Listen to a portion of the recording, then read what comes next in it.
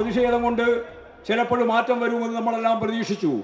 പക്ഷെ ഇന്നലെ ജവഹർലാൽ നെഹ്റുവിന്റെ ഒരു ചടങ്ങുമായിട്ട് ബന്ധപ്പെട്ടുകൊണ്ട് കണ്ണൂരിൽ അദ്ദേഹം അതിനേക്കാൾ ശക്തമത്തായ മറ്റൊരു കാര്യം പറഞ്ഞു.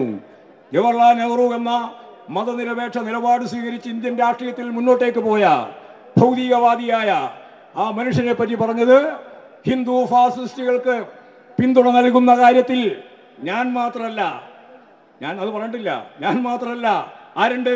ജവഹർലാൽ നെഹ്റു കൂടിയുണ്ട് എന്ന് അദ്ദേഹം പരസ്യമായിട്ട് ഇന്നലെ പ്രഖ്യാപിക്കുകയുണ്ടായി. എന്ന് പറഞ്ഞാൽ ആർ എസ് എസിനോട് സന്ധി ചെയ്തുകൊണ്ട് മുന്നോട്ടേക്ക് പോയവരുടെ പട്ടിക കോൺഗ്രസിന്റെ ഭാഗമായിട്ട് നെഹ്റു മുതൽ ഇങ്ങോട്ട് അണിനിരത്താനാണ് അദ്ദേഹം ശ്രമിച്ചുകൊണ്ടിരിക്കുന്നത്. അപ്പോൾ ബോധപൂർവം ആർ എസ് എസുമായിട്ട് ഈ കേരളത്തിൽ ഒരു സന്ധി ഉണ്ടാക്കാൻ അവരുമായിട്ട് ബന്ധപ്പെട്ട് മുന്നോട്ടേക്ക് പോകാൻ ശ്രമിക്കുന്ന ഒരു കോൺഗ്രസിന്റെ ചിത്രമാണ് കേരളത്തിൽ ഇപ്പോൾ K P P K P C C പ്രസിഡന്റിന്റെ ഭാഗമായിട്ട് നമ്മൾ കാണുന്നത്.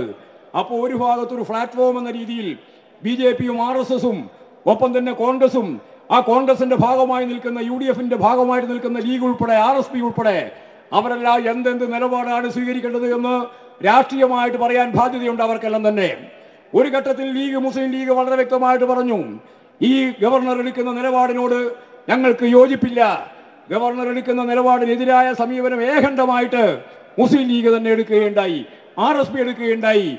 എന്ന് പറഞ്ഞാൽ കേവലമായ ഇടതുപക്ഷ ജനാധിപത്യ മുന്നണിയോടൊപ്പം നിൽക്കുന്നവരോ വിദ്യാഭ്യാസ ചിന്തകന്മാരായിട്ടുള്ള ആളുകളോ സാമൂഹ്യ ജീവിതത്തിന്റെ ഭാഗമായി ഇതെല്ലാം ശരിയായ രീതിയിൽ മതനിരപേക്ഷമായിട്ട് പോകണം എന്ന് ആഗ്രഹിക്കുന്നവരോ മാത്രമല്ല പ്രതിപക്ഷ രാഷ്ട്രീയത്തിന്റെ ഭാഗമായി നിൽക്കുന്ന നിരവധി വ്യക്തികൾക്ക് നിരവധി പാർട്ടികൾക്ക് ഈ നിലപാടിനെതിരായ രാഷ്ട്രീയമായ സമീപനങ്ങളുണ്ട് എന്നുള്ളത് വളരെയേറെ ശ്രദ്ധേയമായ കാര്യമാണ്.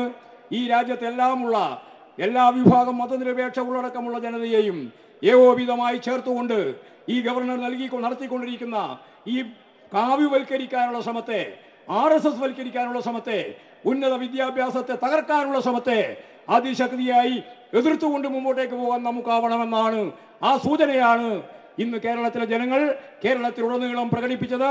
ഈ പരിപാടിയിൽ പങ്കെടുക്കാൻ എത്തിച്ചേർന്ന ലക്ഷക്കണക്കായ സഖാക്കൾക്ക് സുഹൃത്തുക്കൾക്ക് അതുപോലെ വ്യത്യസ്ത തലങ്ങളിൽ നിന്ന് എത്തിച്ചേർന്നവർക്ക് അഭിവാദ്യങ്ങൾ നേർന്നുകൊണ്ട് ഞാൻ എന്റെ വാക്കുകൾ ഉപസംഹരിക്കുകയാണ്.